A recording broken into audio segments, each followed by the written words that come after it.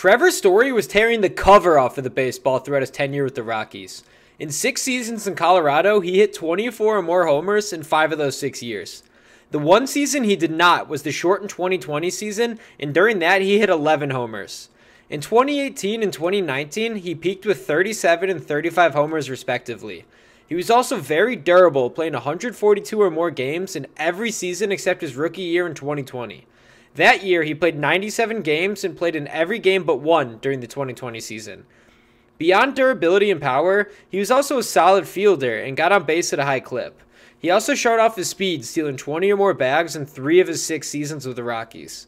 Story made the All Star game and won a Silver Slugger in both 2018 and 2019.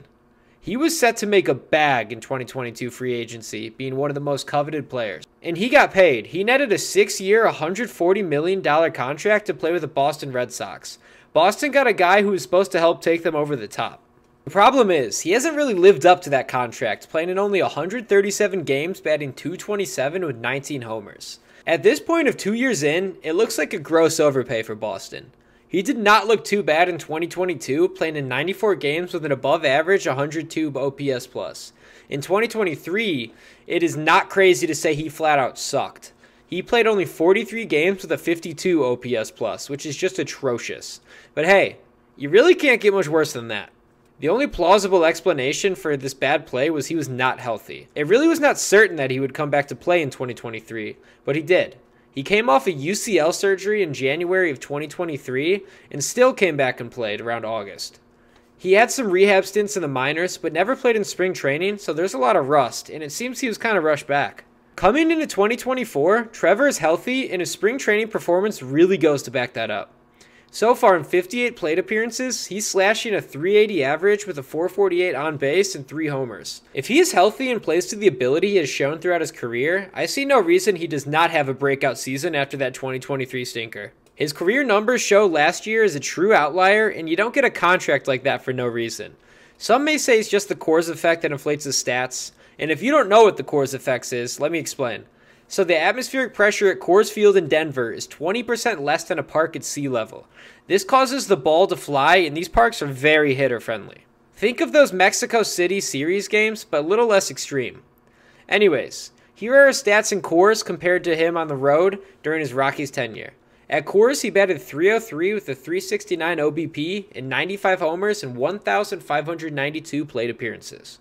On the road, he slashed 241 with a 310 OBP and 63 homers in 1,544 plate appearances. Strangely enough, Story would have hit seven more homers at Fenway than he would have at Coors in 2019, according to Baseball Savant.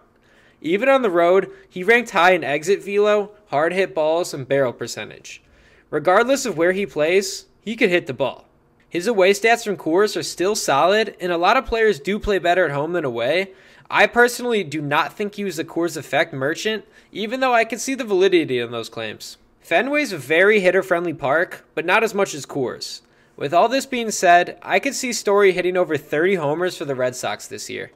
I do not think they will really be in playoff contention, but hey, anything could happen. Story just being healthy and playing well will get them there sooner. The bats are solid for the Red Sox, but the pitching is just not. Entering his age 31 season, I think Trevor Story will propel himself back into the conversation to the contract being worth it. I'm sure Boston fans would be over the moon if he had a good season. Story has a lot left in the tank and offers a lot between power and defense as well as ability to play hard. Story is one of my bounce back candidates for this season. Let me know what you think Story's stat line will look like this year. But anyways, thank you for watching and make sure to subscribe if you enjoyed. I'll see you later.